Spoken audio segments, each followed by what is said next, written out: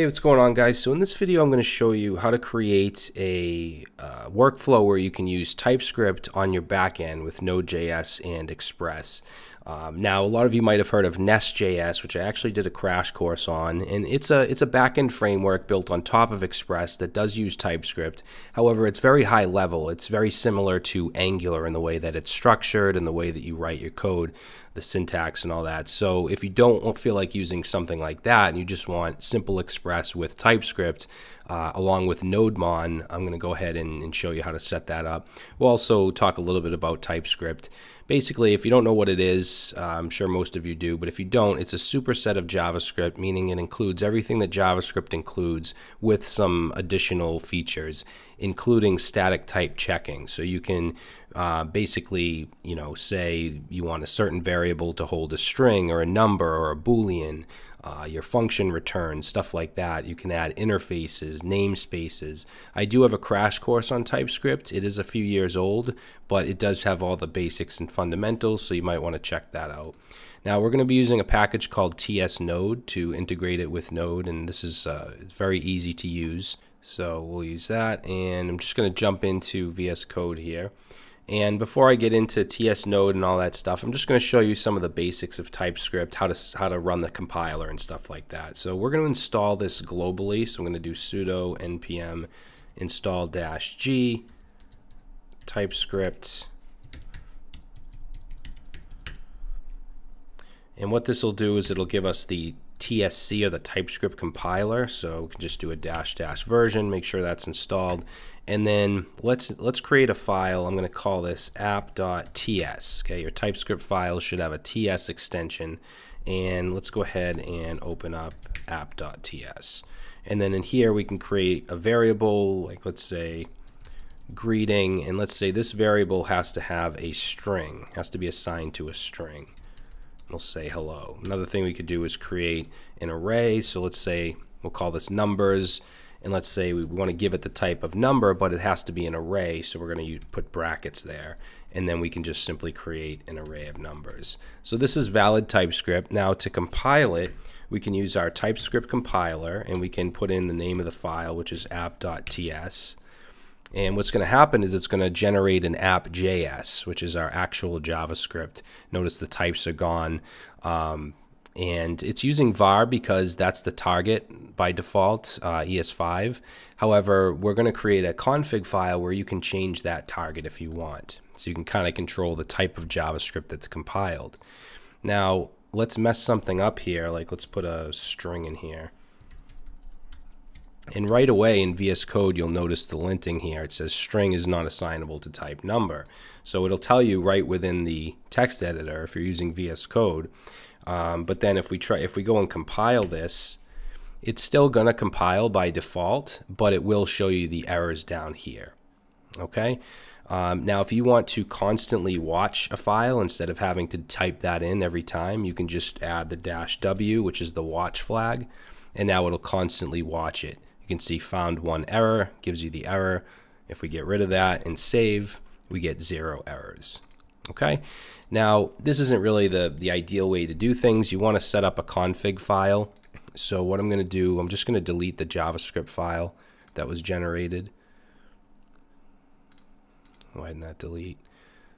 Uh, let's delete that. And then to create a TypeScript config file, you can create it manually if you want, but you can also use the TypeScript compiler by just doing dash dash init and this file is called tsconfig.json and it has all the, the values in here most most of which are commented out. I know it looks a little overwhelming but you don't really need to know what every single one of these options do.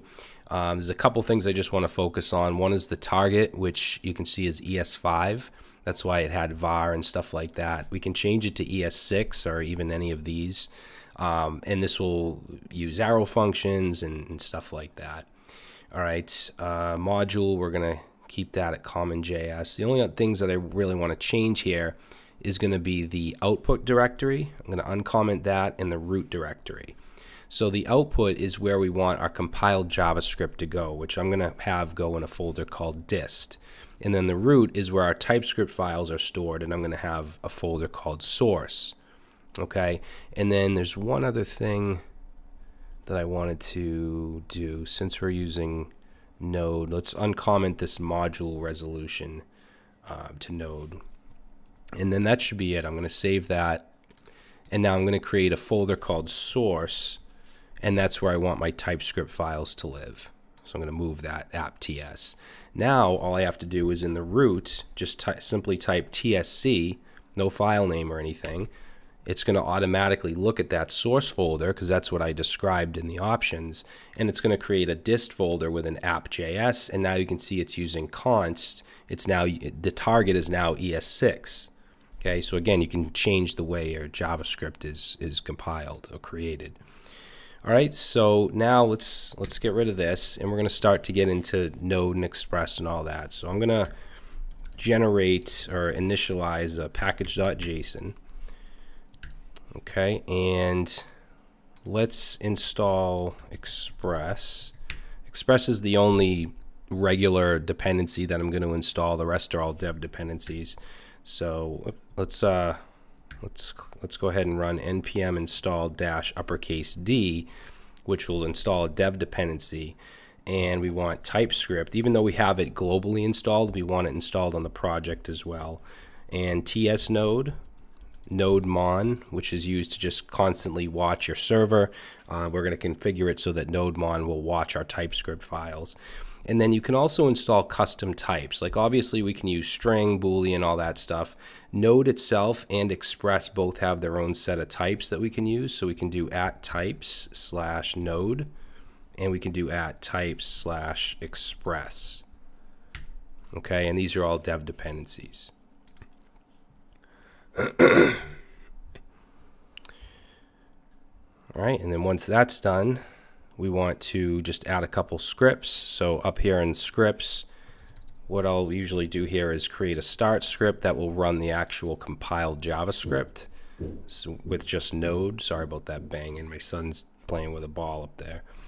Um, so we'll just run node and then let's look in dist, which is where our JavaScript is, app.js, which hasn't been created yet, but we'll create a build script to do that. Okay, we also want a dev script, which is going to actually run nodemon. And we want nodemon to watch inside of our source our app.ts our TypeScript. And then let's create our build. And for the build we're going to use our TypeScript compiler. We just want to add a dash p flag and then dot. And what this is going to do is it's going to generate uh, or compile our TypeScript into the dist folder actually I'm going to delete the dist folder here because it'll create it on its own but it will, it will add the JavaScript to that dist folder. So let's go ahead and save this. That should be all set. And then in app.ts, I'm just going to do a standard Express server here.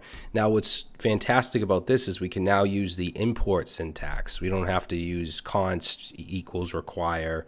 We can just say import Express from Express.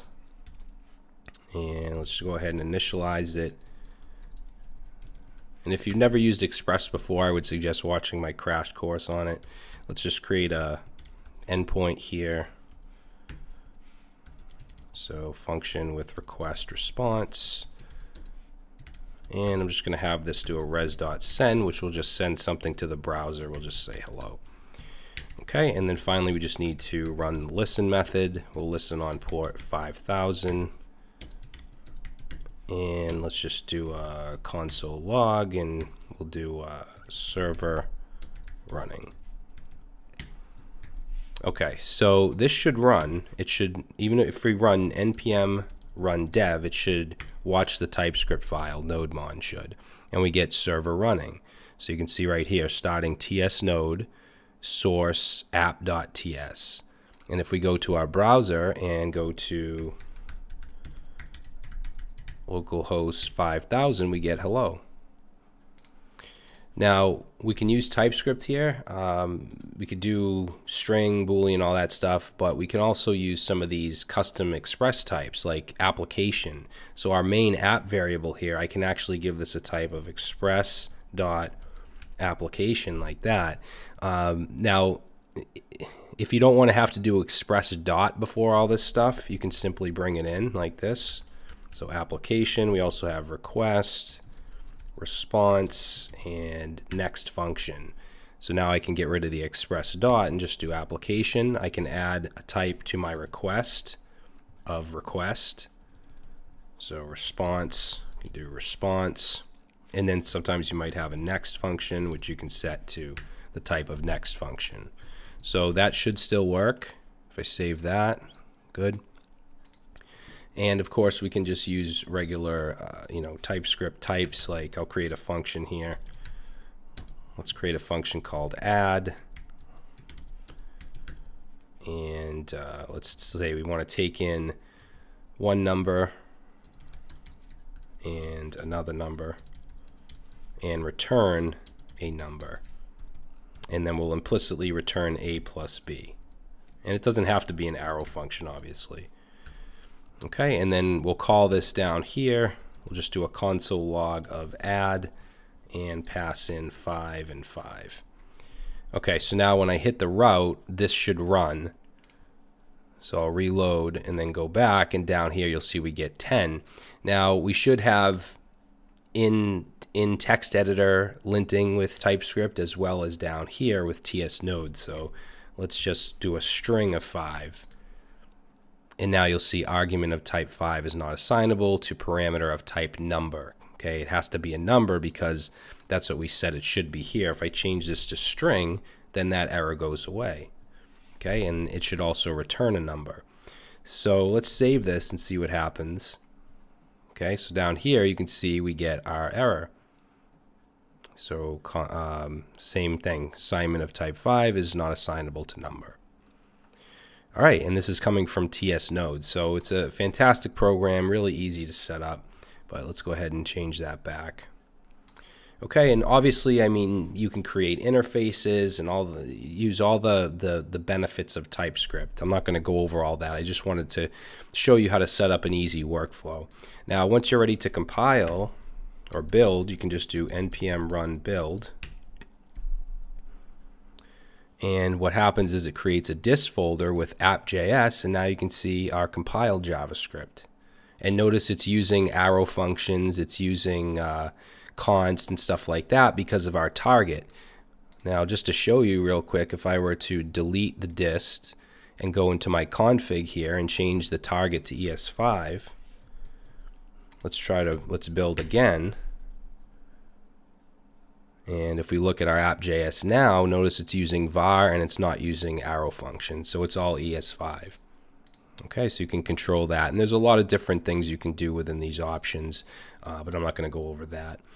Okay, and then if we want to run our server, or just run npm start, which is going to run the JavaScript, you can see right here it's running node app.js, and we can go to our browser and we get the same thing. All right, so basically the workflow is during development, you're going to use NodeMon that's going to run your TypeScript uh, linter or TS Node, and then when you're ready, you can compile it and you can um, deploy your JavaScript.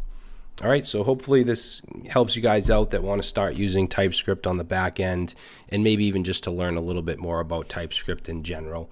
So if you like this video, please leave a like. I'd appreciate that, and I'll see you next time.